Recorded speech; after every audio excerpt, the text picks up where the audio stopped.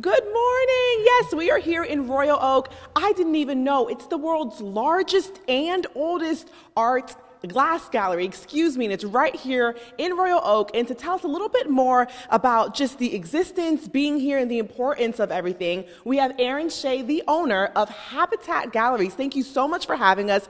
I'm excited because I never knew there was an entire gallery just for glass art here. Talk to us a little bit about how long you've been here. I know we're celebrating 50 years, correct? Correct. So we've been in the town since 1971 and have been moving around ever since, but we've been in this area since 2001 and are offering some of the finest works ever made in contemporary glass art. Now, I understand there's work from all over the world. Just talk about the different places. So, yes, glass is amazing and made in different styles in different places. Mm-hmm. So, there's American artists, there's Czech artists, European artists, Asian artists, all the way from Australia yeah. on display for people to come and enjoy. Let's talk about this uh, poodle that we have next to you. I saw it has a hefty price tag as well. If you know, what kind of goes into just creating this kind of work? It just looks like it's very intricate and detailed. It's a great question, Nana. So every piece is a lifetime of creating. Every artist has invested many, many, many years getting to this particular point and making their own style so they're recognizable. This particular artist, Marta Klonowska from Poland, she breaks glass up and glues it together to create these amazing animals. And setting them up is just as amazing as the artwork itself. What do you want people to take away from tonight's event?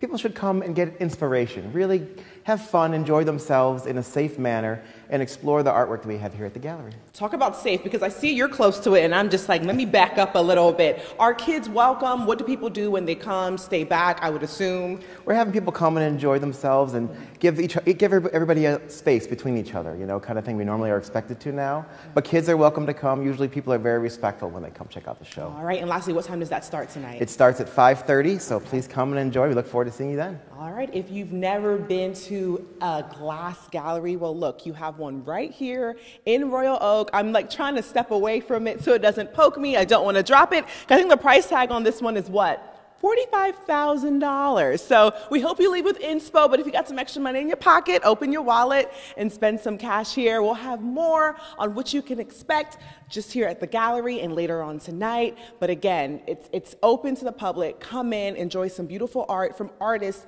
from across the world.